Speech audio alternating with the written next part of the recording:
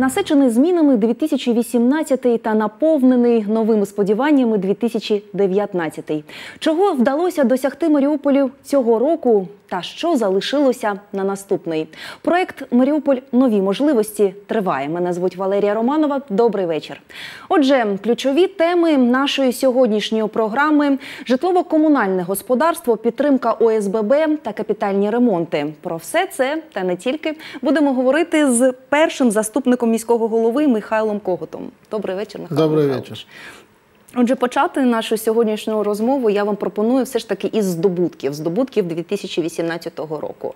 Тільки за цей рік у Маріуполі е, було створено понад 200 ОСББ. І сьогодні ця цифра сягає е, 700 об'єднань. Е, Минулого року ми з вами говорили про те, що Маріуполь був на другому місці в Україні е, згідно з процесом реформування, переходу до нової форми е, управління будинком. І дивлячись на те, що у Маріуполі всього дві тисячі будинків житлового фонду, можна казати про те, що вже 50, ну плюс-мінус 50% мешканців вони перейшли до нової форми. Скажіть, яка ситуація на сьогодні? Чи ми перші, чи ми другі, чи ми десяті по Україні? Є якісь цифри? Ну, хотелось бы все-таки вернуться в историю немного. Э, Вспоминая три года назад, когда мы в этой студии, наверное, тоже говорили, и жители призывали к тому, что э, Программа создания ОСМД, поддержки ОСМД, это мы вместе с жителями, мы, это городская власть и жители города, берем ответственность на себя за то, что мы будем, по какой программе мы будем работать и содержать наши дома. Тогда на тот период порядка 70 было создано ОСМД, ОСМД за весь период. И э, сегодня хочется выразить благодарность жителям в том, что поверили нам. И на сегодняшний день мы имеем те результаты, э, цифры, которые я сегодня вам приведу. Э, Не хотелось бы сегодня говорить, а как- на каком месте мы находимся в стране Украина по э, созданию ОСМД, поскольку это выбор жителей, они выбрали этот э, путь. И одно хочу сказать, что такой программы поддержки, как у нас в Мариуполе, ее в Украине не существует. Что мы изначально говорили, о каких программах мы договаривались, о том, что будем... э, Жители имеют право после создания УСМД выбрать ремонт первого конструктива, тот, который они посчитают нужным. Как правило, это были кровли, потому что ну, на тот период наверное, порядка 100 домов, которые просто кричали о том, что кровли нужно ремонтировать. Либо это инженерные сети, э, либо это электрические сети. Э, Второе, что, о чем мы договаривались, о том, что в течение пяти лет мы обязуемся поддержать мини-проекты, программой мини-проекты. Это порядка 100 тысяч на один мини-проект, то есть 200 тысяч выделяли на то, чтобы дома были, э, воспользовались правом э, и улучшить свои показатели в термомодернизации. Это замена окон в подъездах, двери, ну и различные другие мероприятия. Михайло Михайлович, я пропоную подивитися сюжет на тему, як змінюється життя людей, коли вони переходять е, до нової форми управління домом, тобто ОСББ, а потім е, дещо докладніше зупинитися і на міні-проектах, і на власне програмах підтримки ОСББ. Добре? Добре. Мій будинок моя відповідальність. Все більше маріупольців становляться прихильниками цієї ідеї. Кажуть, багаторічні відносини із ЖЕКами обернулися лише проблемами. Наприклад, мешканці 131-го будинку на проспекті Металургів постійно потерпали від старої покрівлі, будь-який дощ і злива у квартирах. Это было страшно. Обои были об- обшарпаны. Ска- Просили ЖЭК сделать, положили какие-то два листочка, чтобы крыша не текла. Ну, крыша как текла, так и текла. Сколько мы бились, это очень большой труд был. Після створення ОСББ мешканці встигли замінити вікна та двері у під'їздах, труби та сміттєпровід. З ремонтом покрівлі допоможе місто, бо кожному створеному ОСББ адміністрація обіцяє всебічну підтримку. Як бонус – капітальний ремонт п'яти конструктивів, один на рік, та затишне подвір'я.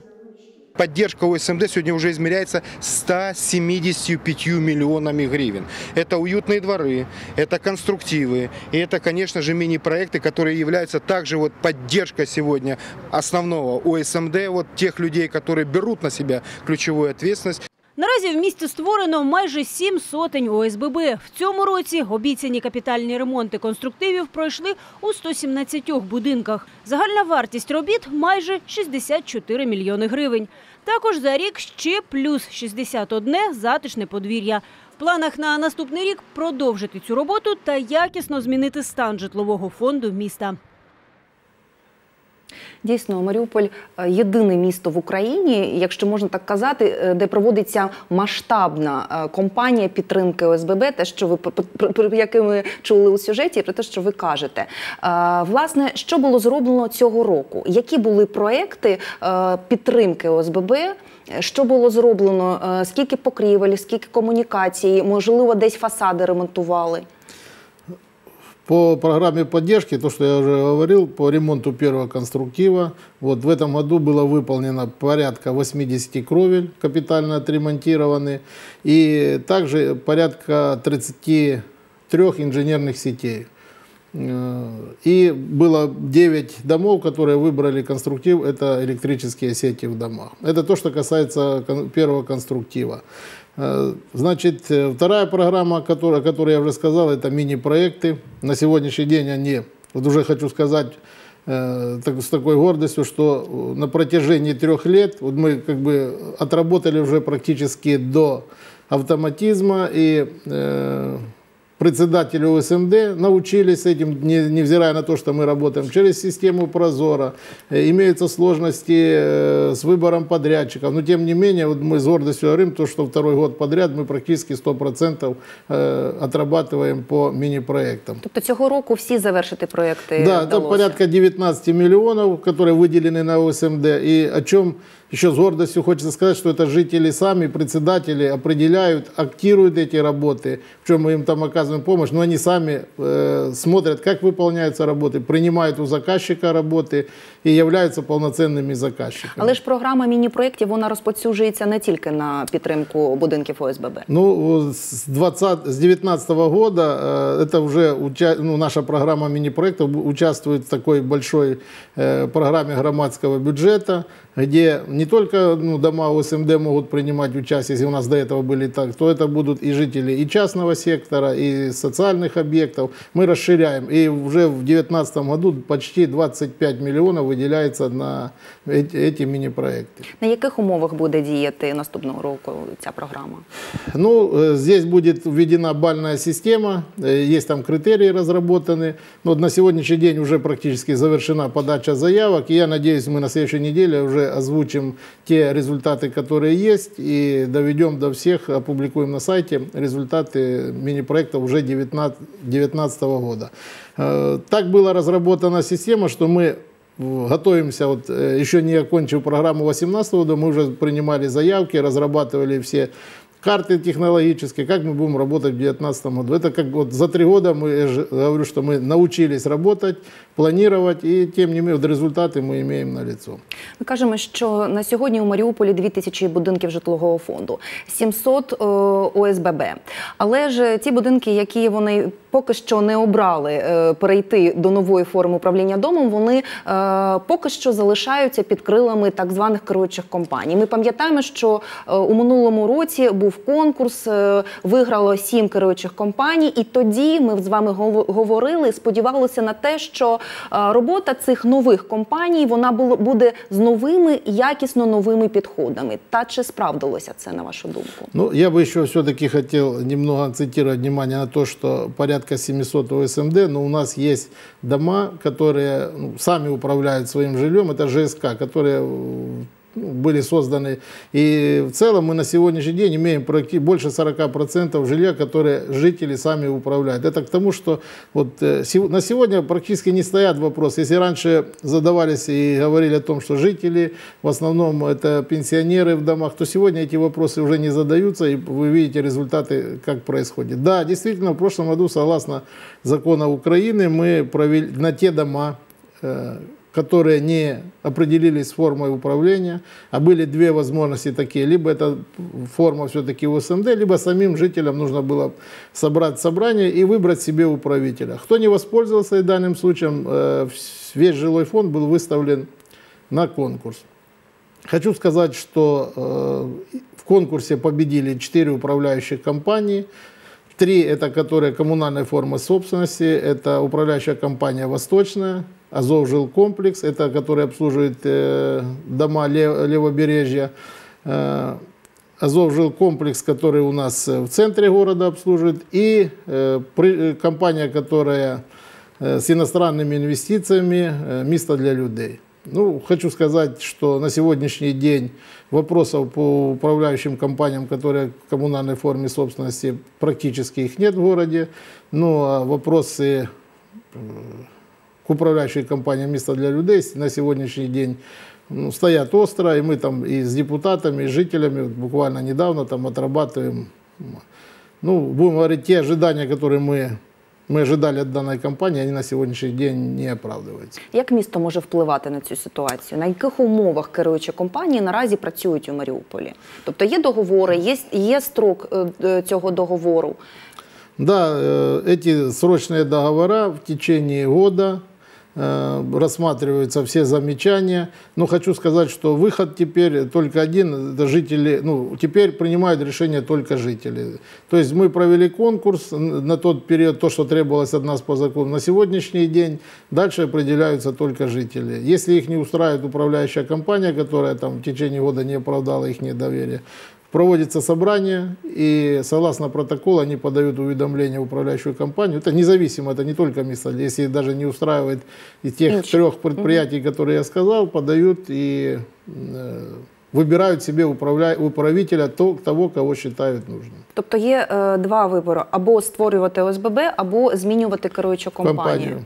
Да, других Ви сказали, що е, договір він е, на е, строком на один рік. На один рік, так. Між ким? Між людьми та керуючою компанією? Нет, ну на тот момент, когда мы проводили конкурс, в конкурсе было прописано, что ну, орган, который проводил конкурс, а согласно решению исполкома это был департамент жилищно-коммунального хозяйства, на тот момент он заключает договор. То есть в лице директора департамента жилищно-комунального хозяйства заключен договор. Ну і власне тепер е, стоїть питання е, якості роботи керуючої компанії місто для людей. Тож як е, планує місто реагувати і ну, від чого буквально, це зараз буде залежати? Буквально там две недели назад э, производили отчет все управля... управляющие компании перед жителями, перед депутатами.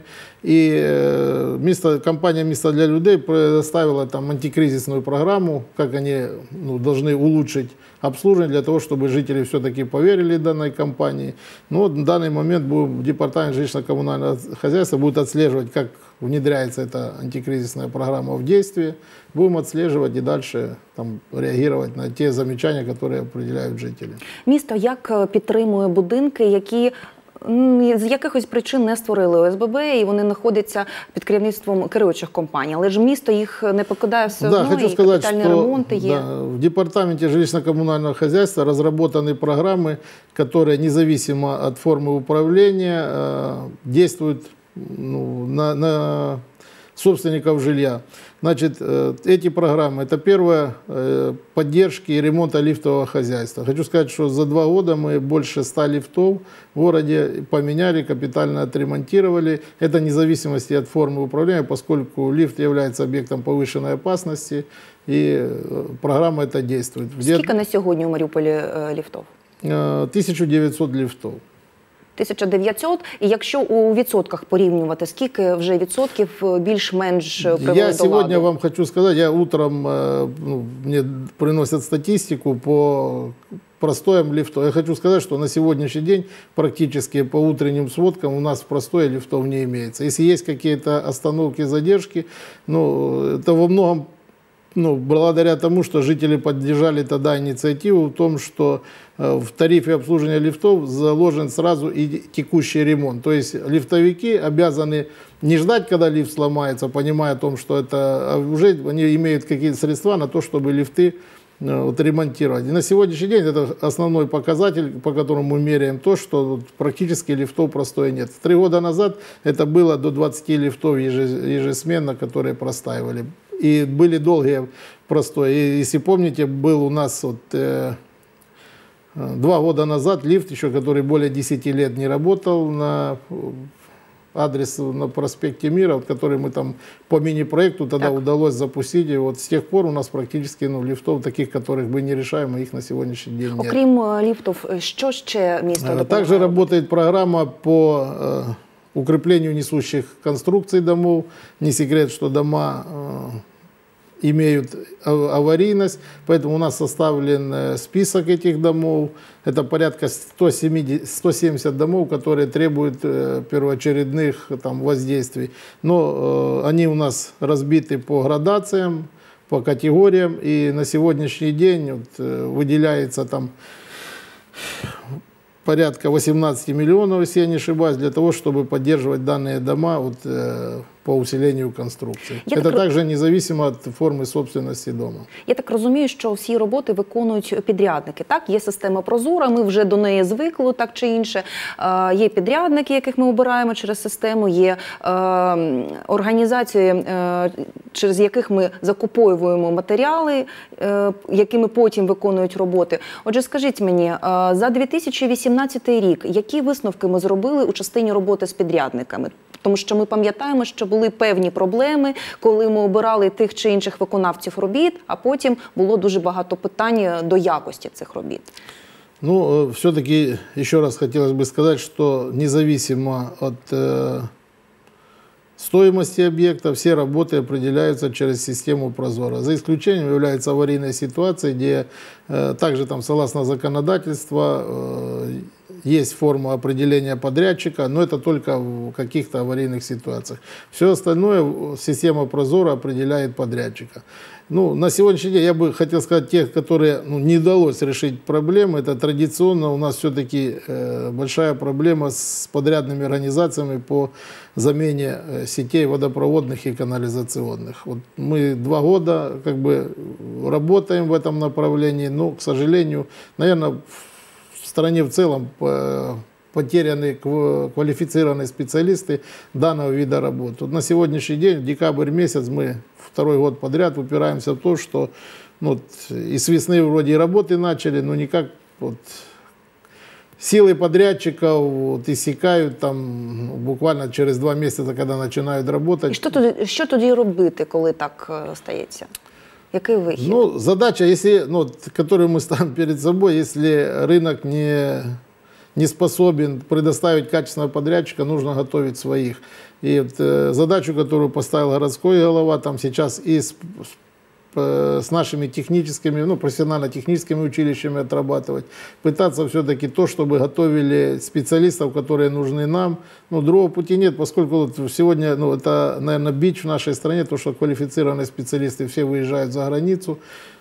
Повышение зарплаты и подготовка кадров, вот вижу путь, который мы сможем э, удержать здесь специалистов. Ну, их нужно в первую очередь готовить, и второе, качественно платить заработную плату. Нещодавно депутати ухвалили бюджет на 2019 рік на розвиток комунального е, комунальних підприємств, житлово-комунального господарства. Наскільки я знаю, виділили понад 240 мільйонів гривень. На що саме підуть ці кошти? Що Ну, как буде уже розвивати? говорилось, там порядка 80 миллионов, это все-таки программа поддержки ОСМ ОСМД на те программы, которые мы уже с вами проговаривали. Порядка 68 миллионов, это дома, которые независимо от формы управления, это все-таки мы должны продолжить ремонты фасадов в центральной части нашего города. Если помните, вот три дома мы в этом году отремонтировали, это дома вокруг э, драмтеатра. Продолжим, у нас э, три дома в планах 2019 года э, капитально отремонтировать. Ну и также дома по э, несущим конструкциям и лифтовое хозяйство. Э, Поддерживаю порядка более 50 миллионов все-таки для э, коммунальных предприятий, которые обслуживают наше водное э, хозяйство, так называемое, это водоканал. Э, Основные направления, куда мы, это все-таки замена сетей. И ту программу, которую мы разработали по строительству подкачивающих насосных станций, э, мы ее будем продолжать. Вот мы в прошлом году построили на Флотской насосную станцию, в этом году заканчиваем сейчас две насосных станции, это на Филиппа Орлика и Лека Дундича. Я надеюсь, что мы их до Нового года там введем в эксплуатацию. И они имеют ну, положительные результаты. И планы 2019 года также э, мы подали одну насосную станцию в центральном районе ДФРР. Нам вы- выделяют средства, где мы там за участие также местного бюджета построим эту насосную станцию. И э, большая проблема у нас была по водоснабжению восточного и левого берега. Также разработали проект. И Здесь э, наши партнеры ЮНИСЕФ, которые нас постоянно поддерживают в вопросах э, таких э, водоснабжения, то также готовы подключиться к да- решению данной проблемы, что нам позволит это все-таки улучшить качество восточного, всегда у нас были там вопросы, ну и тем самым мы все-таки сможем Сопино, Лебедино туда качественно подавать воду. Після е, цих всіх дій е, якось водопостачання зміниться для е, мешканців багатоповерхівок, верхніх поверхів, те на що скаржаться люди. Конечно, що... ну, вот эта программа по подкачивающим насосным станциям, вот она дается, если помните, у нас также, когда вот, э, наша каденция, пе- первый год, это жители горной песчанки, когда, ну, после того, как мы ввели насосную на Флотской, эти во- вопросы исчезли. Поэтому э, понимаем эту проблему, насосные проекты разработаны, введем их и уберем с домов подкачивающие насосы, которые там лишнее неудобство для жителей. Ну и все-таки это и лишние расходы электроэнергии, поэтому э, это, эта программа также будет иметь ну, ощутимое улучшение качества подачи воды, и особенно в многоэтажных домах. Окрім водопостачання, на що ще підуть кошти? На інші підприємства комунальні? Да, также ну, на теплоснабжение тоже у нас одна из больных тем. Но в этом году вот нам все-таки за три года мы научились э, работать и с НАК «Нафтогазом», и с НКРЕ. Э, В этом году мы получили номинацию.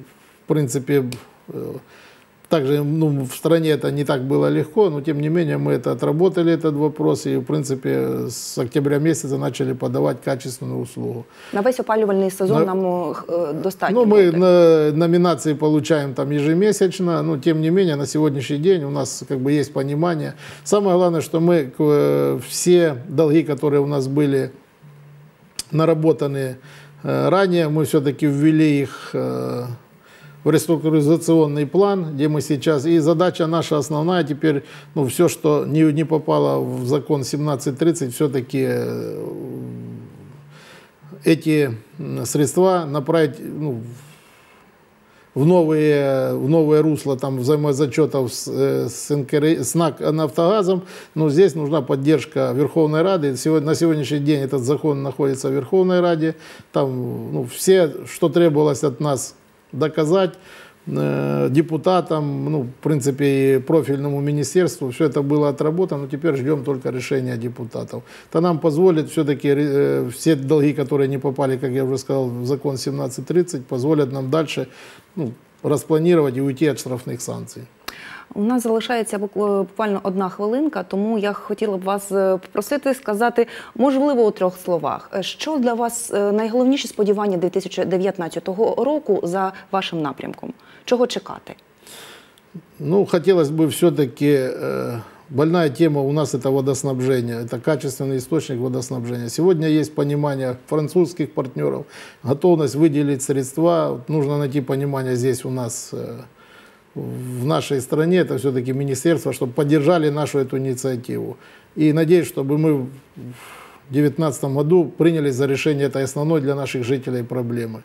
Вторая, не менее острая проблема, это все-таки свалочный полигон на сегодняшний день. Нам нужно заходить в строительство нового полигона с сортировочной линией. Проект у нас готовый, мы сейчас также ищем средства, и, э, ин- все наши партнеры иностранные, банки, ну, в принципе, готовы поддержать эту инициативу, нам нужно доработать данный вопрос.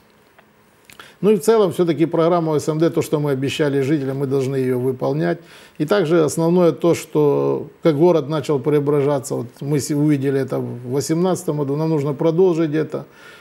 Так, чтобы ну, жизнь в нашем городе, для молодежи особенно, многие там говорят о том, что не нужно там сегодня, кому нужны бордюры, кому нужны эти парки такие, нужны нашим детям. У детей наших детство, оно ж один раз, и проходит оно очень быстро.